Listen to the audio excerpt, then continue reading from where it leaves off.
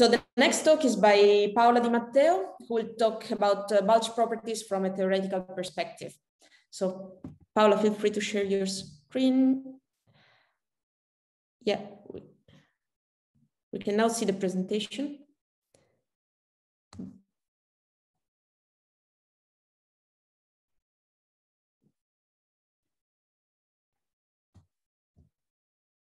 But you are muted, I think. Sorry, can you hear me now? Yes. Okay, so uh, thank you very much uh, for uh, for uh, organizing and inviting me uh, to give this review talk.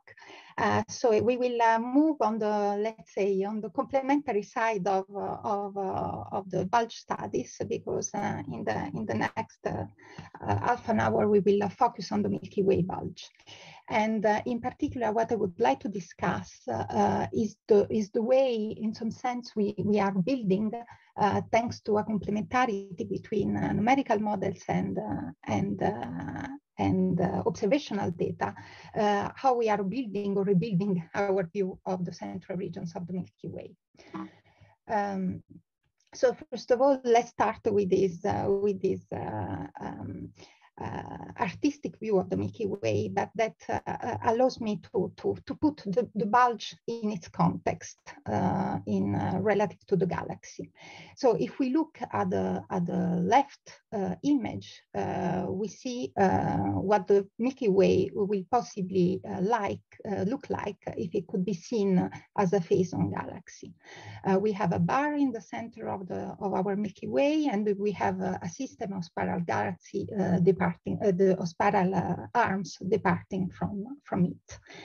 And when we look at the edge on view, we see that in the central regions, we have this bulge that at this moment for me, it's simply uh, an overdensity of stars that uh, um, um, distributes also outside the galactic disk.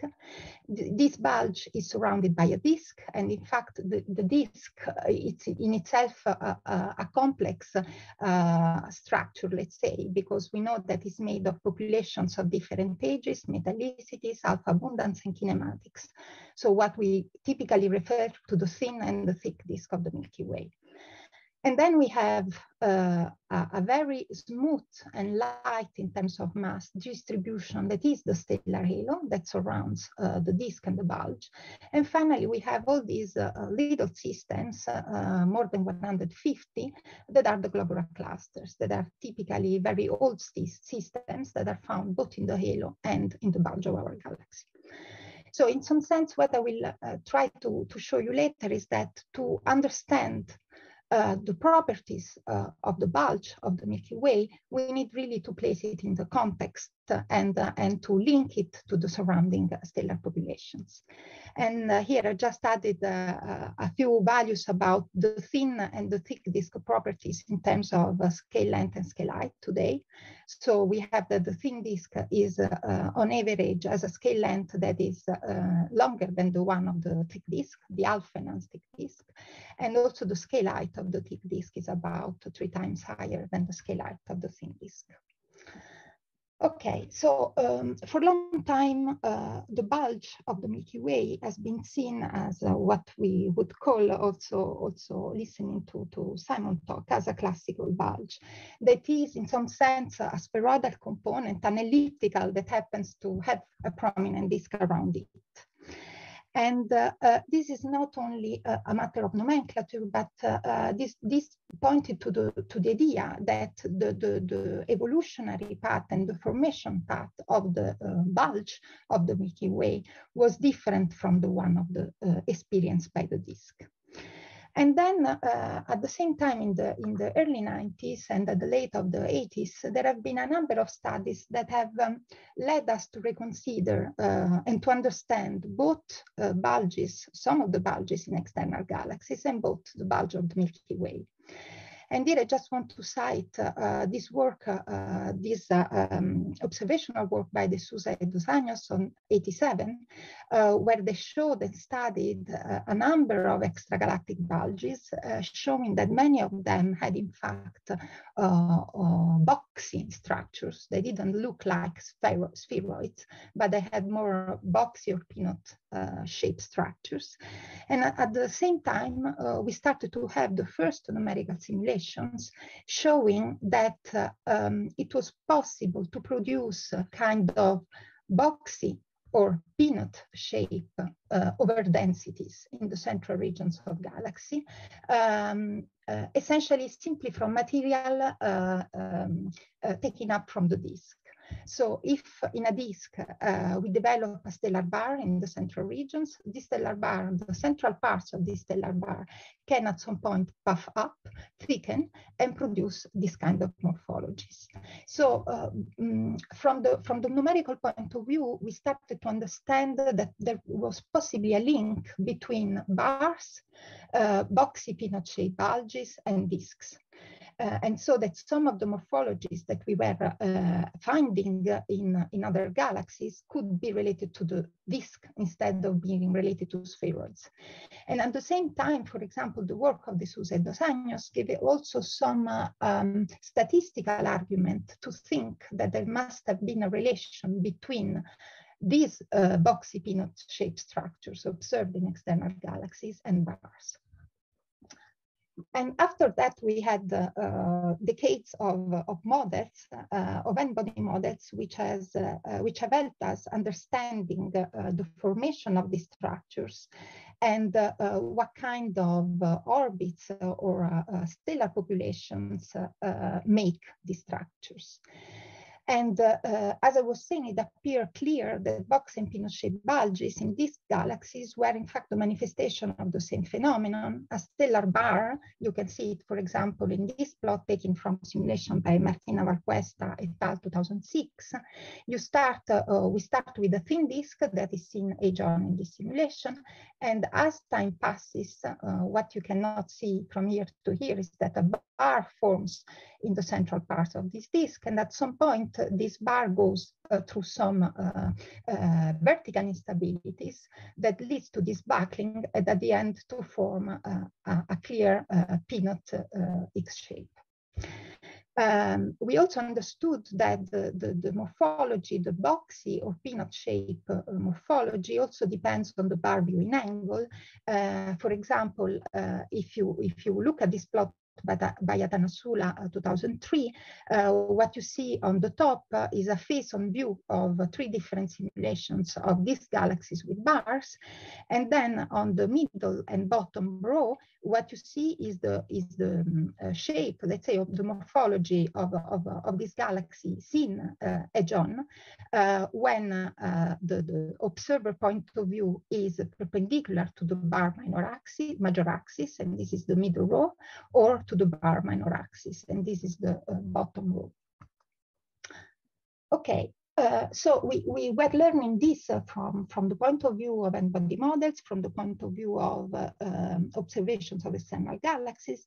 And at the same time, uh, still in the 90s, we started to realize that also uh, the Milky Way bulge had uh, a morphology that was not really spheroidal. And this came essentially from near infrared and infrared observations of the central regions of our galaxy that started to reveal uh, that also our bulge was indeed boxy. Huh? And, uh, and this was also supporting the early suggestions that the galaxy was barred that were based uh, essentially on the, on the study of, uh, of the gas motions in the disk. Now, after, uh, after many years of work on, on, on this topic, what we, we, um, what we can conclude is that we have definite evidence that the Milky Way bulge is a boxy uh, peanut-shaped bulge. And this make uh, the, the, the, the, Milky Way bulge the closest example uh, to study this class of objects that are not rare in, in the local universe. Huh? And uh, uh, for example, according to this work by Lütticke et al. 2000, about 45% of bulges in edge-on galaxies uh, has a boxy peanut shape. So understanding our bulge is also important to possibly understand uh, more generally this class of objects. Uh, so the, our current best view uh, of, of the structure of the inner uh, um, regions of the Milky Way uh, has been traced in a, in a, in a number of works uh, by Chris Wegg, Ortwin Gerhard, and Mathieu Portail in the last years. Um, we can start uh, uh, looking at the, at the middle panel, uh, which shows you um, the, the, the, the, distribution of, uh, of stars in the inner regions of, of the galactic disk. The position of the sun is here on the bottom, and you can, um, what uh, Wegg collaborator found is that there is clearly evidence of a, of a, stellar bar in the disk of the Milky Way, which has an inclination with respect to the sun galactic center direction of about 27 degrees and that in the central regions of this bar, this bar has a semi-major axis of about 5 kpc, and in the central regions of this bar, a boxy peanut shape is present. And they, they could, in fact, trace uh, the distribution, the 3D distribution of, of stars in the, in the inner regions of the galaxy by making use of uh, data from the VVV survey and coupling this, uh, uh, this data with uh, dynamical models. So you see uh, clearly uh, a boxy peanut structure in the in the inner regions, and and this is when the, the, the distribution of stars is plotted in a, an XZ direction.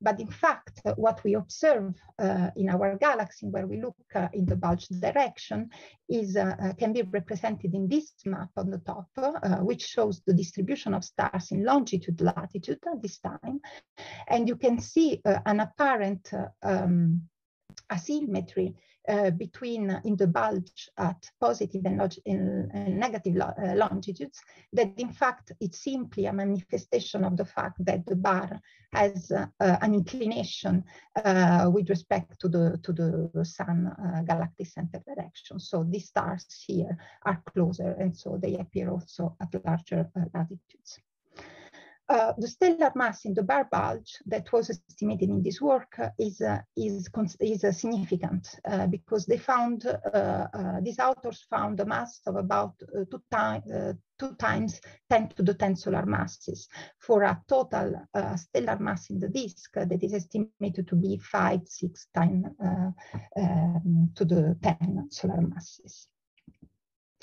Now, uh, because a boxy peanut bulge, as we learned from n-body models, is a thickened stellar bar, and a stellar bar forms out of this material, these findings uh, naturally imply that the Milky Way bulge is mostly made of stars that at some point have been taken, were in the galactic disk, and at some point were trapped into the bar and uh, in the, in the uh, boxy peanut instability. And so if I want to uh, schematically uh, summarize uh, uh this set of work, uh, we have changed uh, our mind. And instead of thinking that most of the galactic bulge is a classical bulge, possibly merger driven, what we are seeing in the bulge is possibly, is mostly um, a, a, system that has been a component that has, uh, that has uh, uh, strong links with the galactic disk. It is still possible that a small classical spheroid is in the bulge, and I will come back to this later. So uh, the, the, the, relation between the bulge and the disk does not come only uh, from the morphology, uh, the boxy peanut shape morphology. There have been in the last decade a number of spectroscopic surveys, as for example, Brava, Argos, uh, GIBS, uh, Apogee, uh, that have really um, allowed simulators and theoreticians to test the prediction of, uh, of, of these models, and in particular of the disk origin of the Milky Way bulge, providing, in fact, robust evidence that the Milky Way bulge is mostly made of disk stellar populations.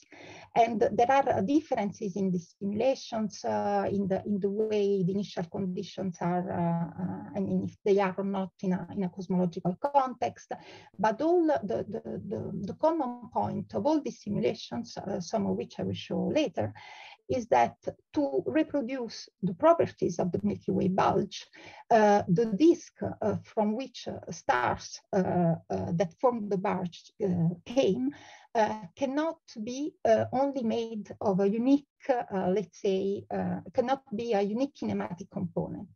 It must be a, a disk where metal poor and metal rich populations coexist, where old stars and young stars coexist, And these metal poor and old stars and these metal rich and young stars must have different kinematics on average. So um, uh, essentially uh, the properties of, of, the, of the disk we need to reproduce the bulge properties are the properties that in fact we, we see in the galactic disk in the form of the thin and the thick disk populations.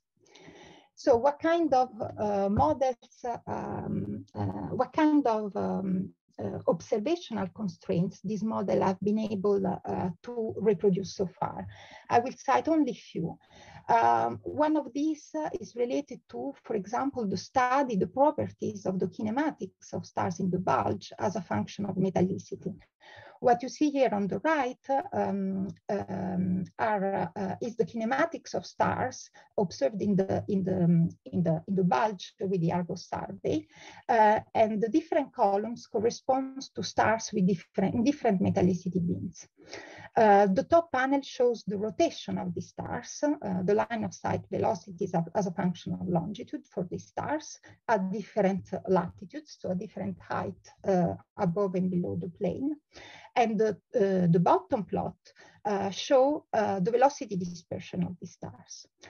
And what you see is that essentially, uh, rapidly speaking, uh, there is no significant difference if you look at the rotation of metal poor and metal-rich populations in the bulge, at least for uh, stars with metallicities above minus one, while it is clear that there is a, a, a strong tendency in velocity dispersion.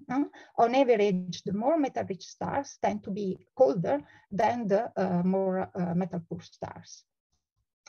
And these trends have been, for example, reproduced uh, in the simulations by Athanassoula et al. 2017, and also others, where they show that, in fact, uh, if, uh, if the galaxy, if the bulge formed out, formed out of, of a disk where the metal poor populations were also the kinematically hottest populations, it is possible to reproduce trends very similar to those uh, found in the, in the Argos survey.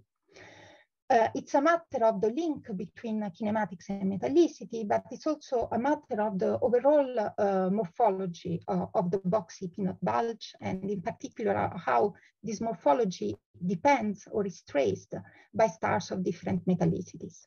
Uh, the observational um, uh, surveys uh, show indeed that uh, the, the, the boxy peanut shape um, is stronger when it is traced by the most metal-rich stars in the bulge. That is, there is a tendency for most metal, for the stars that are more metal-rich to show also the stronger boxy peanut shape. And this is something that essentially all models that have looked at the relation between morphology and metallicities have been able to reproduce.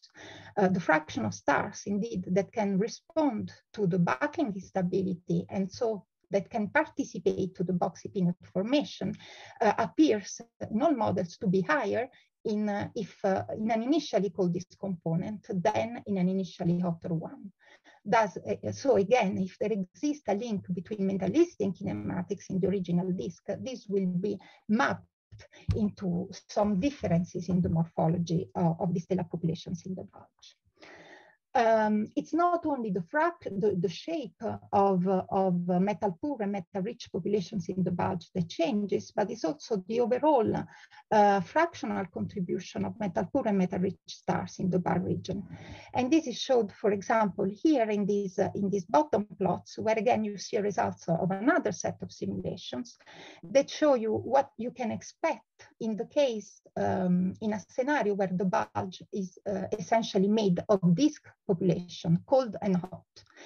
And what, what you see here on the, on the bottom is the fractional density maps, that is the contribution of stars in different metallicity bins to, uh, to the bulge.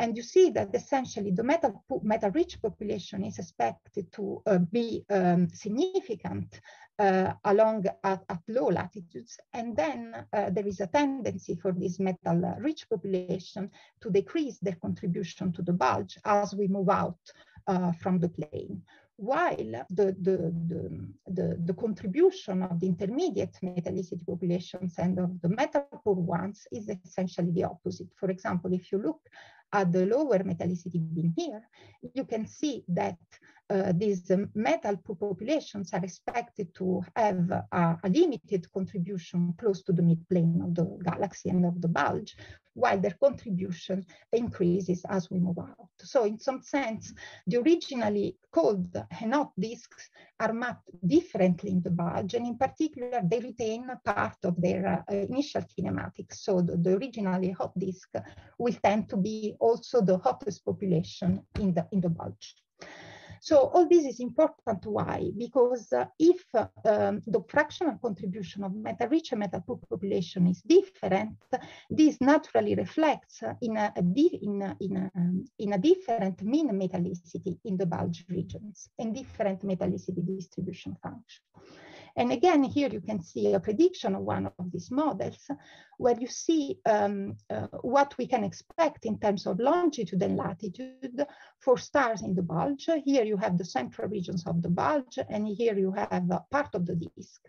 And you see that one of the predictions is, for example, that the metal, that the central regions should be more metal poor than the surrounding disk.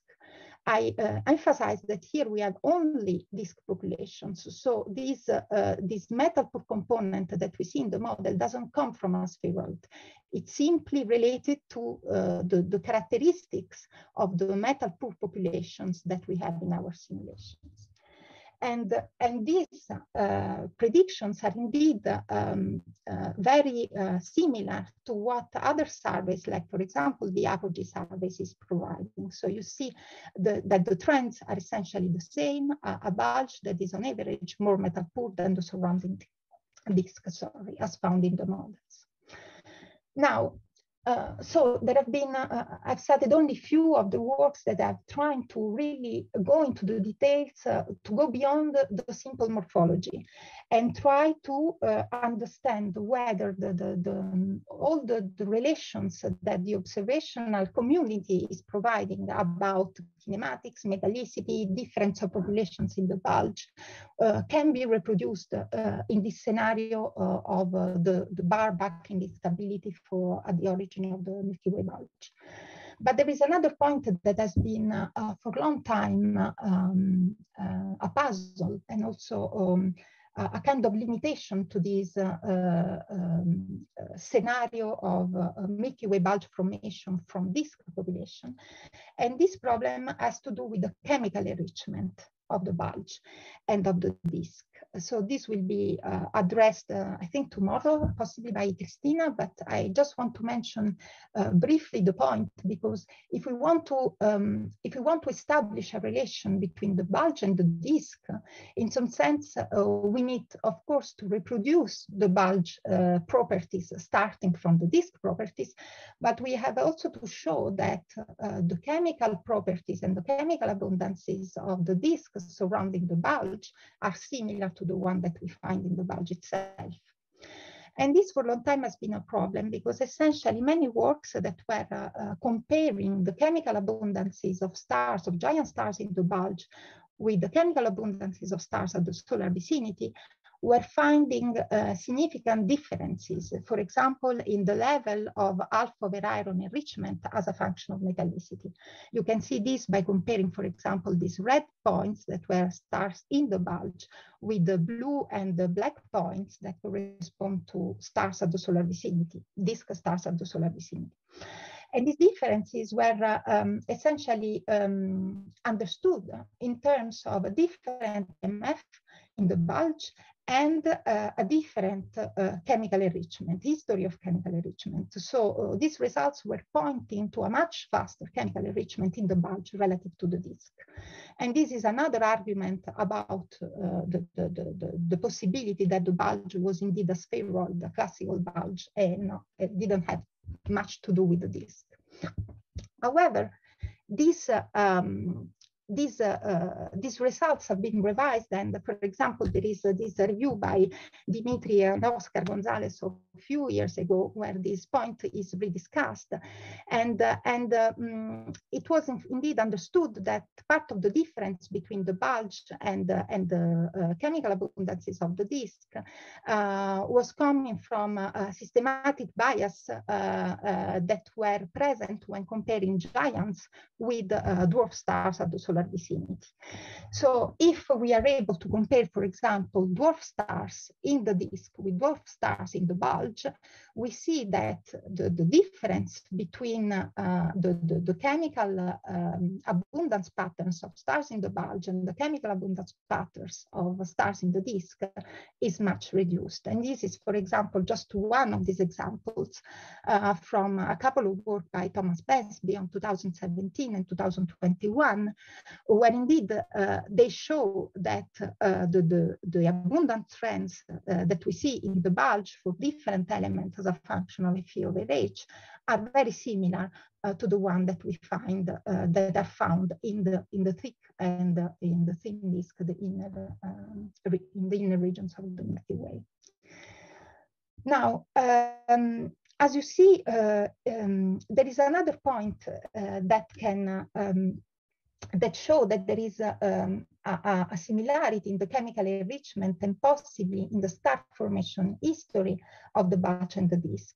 And this point comes from, uh, uh, again, the, the chemical abundances, and in particular, the distribution of alpha over iron elements in the bulge.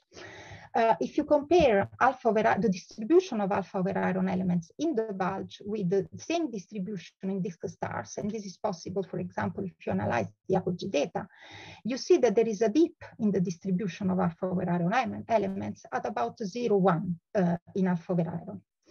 And uh, it is possible to interpret, you, you, find this dip at the same uh, value, uh, both in the bulge and in the disk.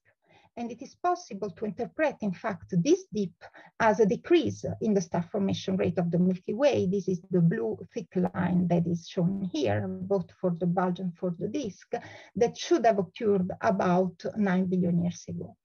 So uh, in some sense, it's possible again to relate the disk and the bulge also from the point of view of the star formation history of the galaxy uh, as a whole, uh, with the high alpha enhanced populations formed in, in a first early phase of uh, high star formation, followed by a, a, rapid decrease in the star formation that produced this dip, and then the star formation recovered to lower levels and formed the low alpha population.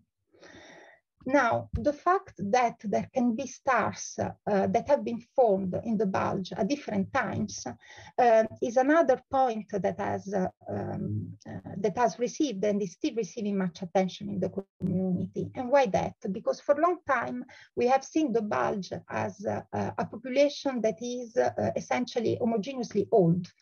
Um, and the main uh, reason for the, the main reason for that uh, was related to the analysis of uh, to the observed red colors of uh, turn-off stars in the color magnitude diagrams.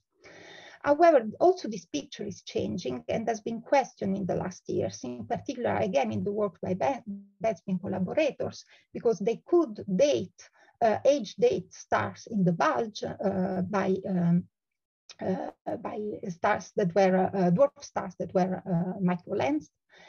And what they showed is that while it is true that all the metal poor populations in the bulge, the metal poor stars in the bulge are old, when we move to higher metallicities, we see that um, young stars can coexist with older stars. And this is uh, summarized, for example, in this plot on the right, uh, where the fraction of stars uh, younger than five, this is the blue curve, or eight uh, red curve billion years, is shown as a function of metallicity. Again, while all essentially the metal um, uh, poor stars appear to be old. This is not the case where we go to high metallicity. So in particular, you can see that the dominant contribution uh, to, uh, to the metal-rich stars should come uh, accordingly to this result uh, by stars that are younger than 8 billion years. So why is that? How it is possible that uh, um, these young stars are found in the bulge? And again, models help us in understanding this picture. And this has been, for example, a point that has been addressed in two papers by Ness et al. and Debattista et al. 2014 and 2017, where they showed that, again, in a scenario where the bulge form, uh, forms out of disk material, uh, the oldest populations, which are also kinematically hotter, tend to distribute mostly at high distances from the galactic plane, while close to the galactic plane, um, the bulge is expected to be on average uh, younger, even if with a, uh, large dispersion in age. So that means that we can find both young and old stars here. But on average, we expect a trend both with longitudes and with latitudes. Now, uh, I don't know how much time is left. I will try to, to go a bit more to the metal poor regime. Maybe a uh, few minutes, Paola, left. Okay. I will, I will uh, try to go uh, a bit to the metal poor regime um, because I think that here, here is where uh, possibly uh, some of the tensions or the questions still are. And by metal poor regime, uh, I mean essentially the stars be, uh, below minus one. So first of all, uh, the, the, the, question, the problem of the metal poor regime is related to the problem of the existence of any classical bulge in the Milky Way bulge. As I was saying before, we have understood that most of the, of the bulge populations uh, possibly originated in, in disk populations with different kinematics, but we still have the question to understand whether there is a spheroidal component hidden in the bulge. And uh, some models, uh, um, some simulations that then have been confirmed by others, but the first simulation showing that if a spheroidal component exists in the bulge, in the Milky Way bulge, must be small, uh, came from a paper, a work by Shen et al. in 2010. And what they did essentially was to analyze different simulations uh, and comparing the kinematics of the bulge stars found in the simulations with the data from the Brava survey. And you can see simply, for example, the, the, the, plot here on the bottom right, where you see the blue points are the data and the different curves corresponds to uh, uh, simulated galaxies with a different um, um, percentage of stars in a classical bulge. And you see, for example, the blue curve corresponds to a simulated galaxy where 30% of the stellar disk is in a classical bulge. And you see that the prediction are well above uh, the data. So the conclusion by Shen et al. were uh, that if a class bulge exists in the Milky Way bulge, uh, it should not exceed 8% of the disk mass. Otherwise, it would not be possible anymore to reconcile the kinematics observed. So for a stellar disk of 510 to the 10, this implies a mass of the classical bulge of at most 410 to the 9 solar masses. Now, where, uh, um, so interestingly, um, this upper limit given, given by Shen is also consistent with, with, another, with a game that we could play. No? And it is, for example, take uh, the black hole mass uh, versus the spheroidal bulge mass relation, as given, for example, by Kormendy et al and ask ourselves for a black hole mass um, similar to the one that should be, uh, that is in the Milky Way, so uh, about 4, 10 to the 6 solar masses, which is, uh, which would be the expected mass of the classical bulge. And we end up with values of a few 10 to the 9, so which are uh, very similar to the, to the predictions, uh, to the upper limit given by Shen. Now, such a small uh, bulge, uh, classical bulge, uh, should have um, a mean metallicity if we adopt, for example, a mass metallicity relation at around minus one. So it should be in a regime where we, in fact, uh, current surveys up to few years ago had very few stars. Uh, most of the stars that have been observed in surveys like Argos, for example, or Apogee are at metallicities above minus one. So we need to go uh, in a lower metallicity regime to try to find this spheroid if it exists. And here I want to mention this work by Arentsen et al. Um, using the data from the PIGS, uh, the in Inner Galaxy Survey, where indeed they have started to do this work to go to the lower metallicity regime and to study, for example, the kinematics of stars in the bulge at metallicities below minus one. And what you see is that uh, the, the, the, kinematics of these metal poor stars that here are shown with the color points tend to be well above the kinematics uh, mm, uh, derived for the more uh, metal rich population.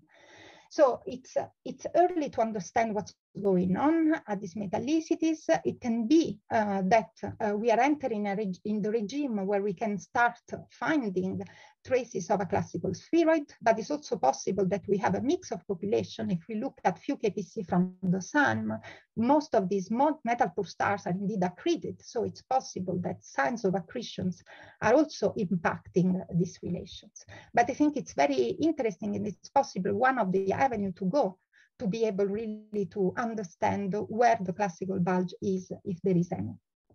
Paola, we should start wrapping up. I'm yes. Afraid. So uh, my very last few slides are about the accretions, but maybe we, we can discuss this uh, later on in the, in, the, in the discussion section.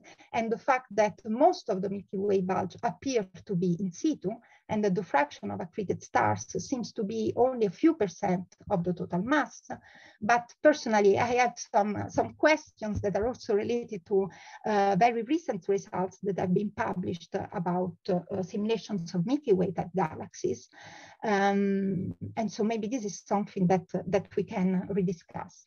And finally, uh, one last point is that uh, um, uh, these accreted stars that we find in the bulge um, and that are uh, being found associated to a, a, satellite that has been called Heracles have possibly also a counterpart in the globular cluster systems in the in the inner galaxy. And uh, what is uh, usually referred to as Kraken, the Kraken satellite um, that has been proposed by Kruijssen et al. studying the globular cluster system of the Milky Way should be in fact the, the, the uh, counterpart of what we see in, um, in, the, in, the, in the field stars.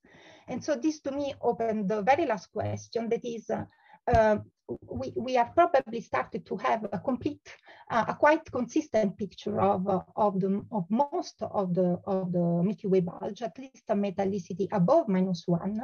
It's still difficult to understand the, the, the populations that make uh, the low metallicity part below minus one in the bulge. Um, we need um, uh, to add uh, to, to all these, to the to the picture that we can derive from the field stars, also other tracers. I'm thinking about RR Lyrae, and there is a, a, a talk by Andreas Kunder on that, but also the globular cluster systems, because we have many globular clusters in the central regions of the Milky Way, and they should have participated to, to, the, to the dynamical processes that I discussed before. And I leave you so with my conclusions, and sorry if I, did, if I took uh, some more time. Thank you. Thank you for the nice talk. We now have time for a couple of uh, questions. If you have any, please feel free to raise your hand and you will be unmuted to ask it, or just write it in the Zoom chat or in the Slack channel.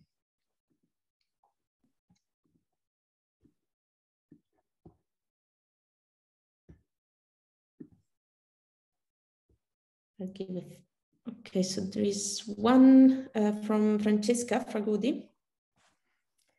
Thanks, Paola, for the very nice uh, review talk. So I am wondering, maybe you can say a little bit about what, how you think we can distinguish. So you, you mentioned in the um, very metal poor population below minus one that we see um, some evidence for uh, these accreted uh, structures and these accreted satellites. So how can we distinct can you say maybe something about whether you th- we think or we know or we have any evidence of these being really distinct systems from maybe the, the chemistry? Or are these part of um, one system that appear as different clumps? Or can you say something about what we think the origin of, of these accreted well, structures are? I think, yeah, I think it's still difficult to say in the sense that if you look, sorry, I don't know why this moved, but it should be here. Okay, uh, so uh, if you look at the at the at the chemical abundance of uh, of these inner galaxy structures called also Heracles by Horta and collaborators, what you see is that most of these stars are metal poor and are alpha enhanced. Uh, so in some sense, they seem a bit, uh, um, many of them seem in continuation uh, from the chemical point of view uh, to what you would expect, for example, for, uh, for, the, for an early disk of the Milky Way. Uh, also the kinematics in some sense can point, uh, does not necessarily indicate that all these stars are accreted because they are in a region where you also have the inner disk that can puff up. Uh, so how to do? I think that uh, um, well, first of all, we need the statistics because if we want to see whether there are several population in these regions and we need to separate things. So uh, we need to, to have uh, statistics as large as possible in terms of the number of stars. And then I think that the way to go is to keep comparing with the disk and the halo that is to, to keep looking, making a comparison between the properties that we see for these metal poor stars in the bulge with the properties that we see in the halo and see how many of the stars can be related to uh, accretion events that we have identified in the halo outside the bulge and how many are, for example, related to the metal poor tail of the disk that we have also identified outside the bulge. And the other point for me are globular clusters, because uh, here you have uh, uh, many uh, metal poor globular clusters in the bulge regions. And this is another way to eventually help understanding the differences in situ and the accreted populations. Thanks. So next question is from Patricia.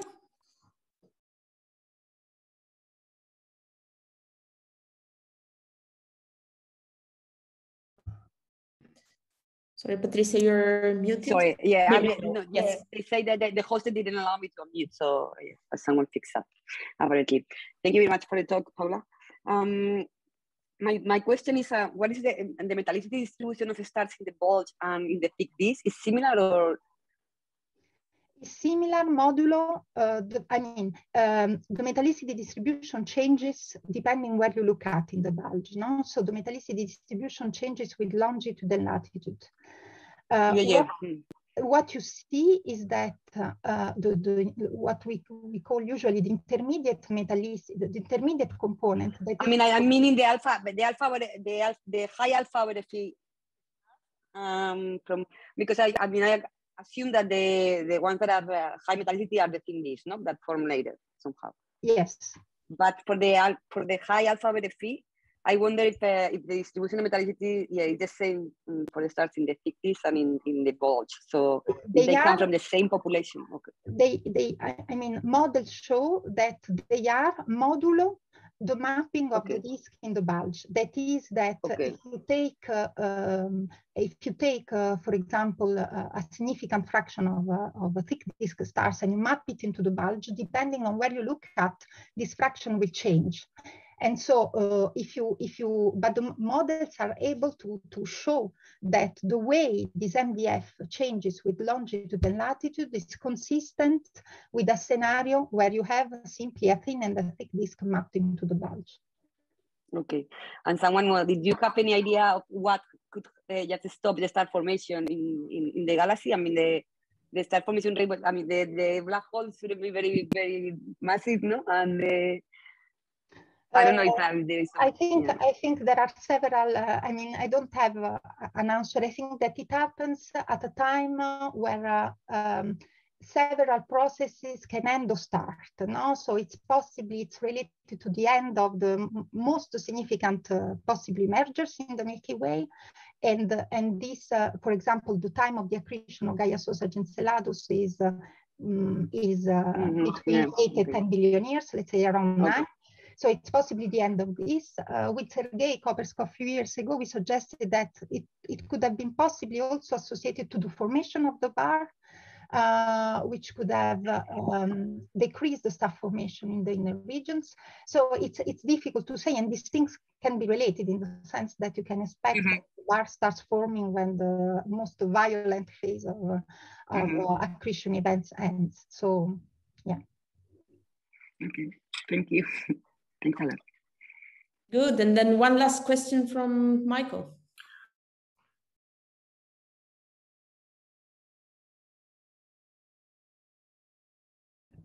Sorry.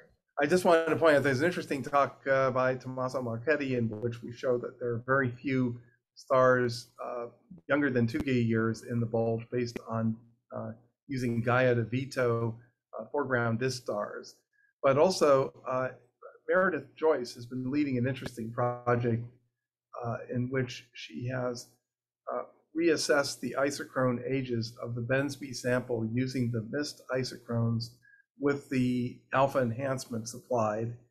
And she's finding that while the metal poor stars are young, they're in the 8 to 10 gigayear range rather than in the extremely young, you know, like younger than 5 gigayear range. And so I, I would say that th- these extremely young stars may not actually be present in the bulge.